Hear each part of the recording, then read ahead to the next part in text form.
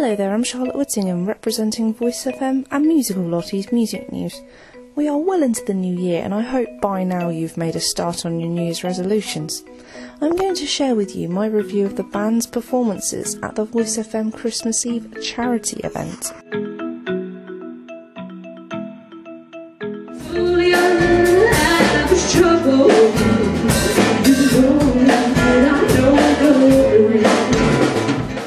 Work commitments, I didn't actually get to watch Lucy Smith's performance. Luckily, my assistant cameraman was on hand to capture the action. Her unique vocal style, brilliant guitar playing, and the ability to put her own twist on well known songs gives her the potential to climb up the music ladder.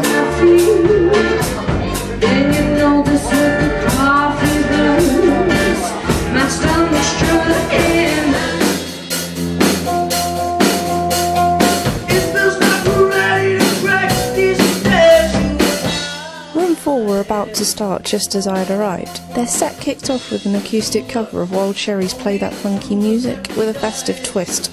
As well as covers of well known songs such as Biffy Clyro's Black Chandelier, they also performed some original material, both of which were executed perfectly.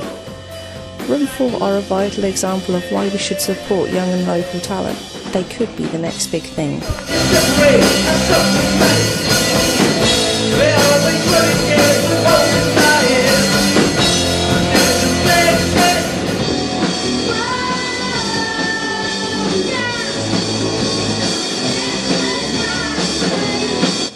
Camp were featured at Voice FM's Halloween show, and I remember them performing a great set. Looking very festive, they started off with a cover of the Hives' classic Hate to Say I Told You So, which got the crowds going. As well as brilliantly covering out the mix songs such as Firework, Don't Stop Believing, and Seven Nation Army, we also got to hear some cracking original songs such as Dance the Night Away. I look forward to seeing more of them this year.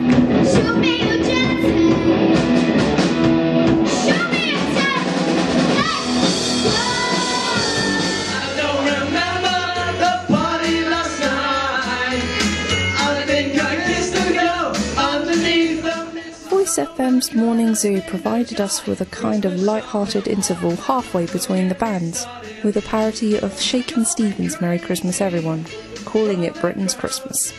It delivered smiles, dancing and laughing to the audience. Please listen out for the Morning Zoo on Voice FM, Monday to Friday from 7am.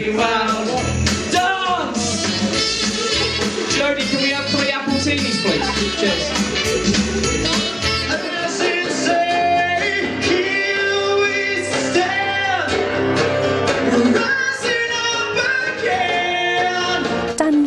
And from New Device were next up.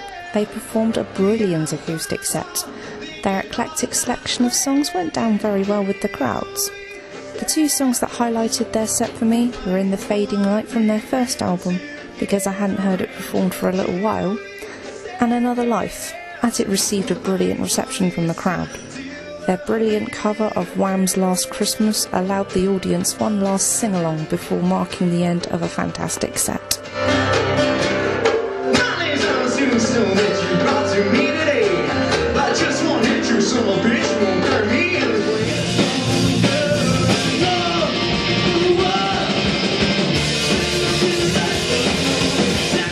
Only hearing of Eastleigh Rock Peace three times over a couple of months ago, I was quite excited about seeing their set.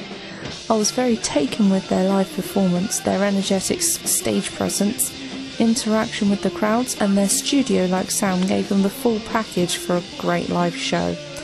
I recognised songs from their EP such as Vampire and Summer Lullaby. Their performance of Shakin' Stevens' Merry Christmas Everyone was possibly the best cover of that song I've heard. It even featured a dancing snowman, which most certainly gets the musical Lottie thumbs up.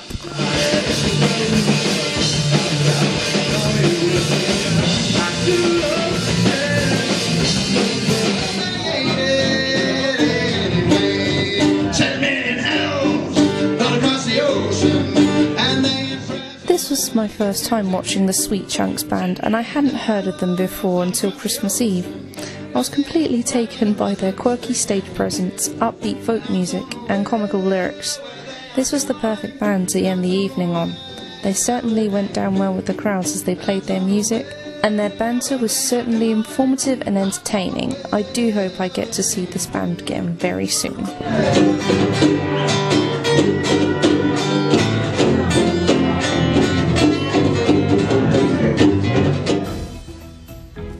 Overall, I think the Voice FM Christmas party turned out to be a success, and I certainly enjoyed myself.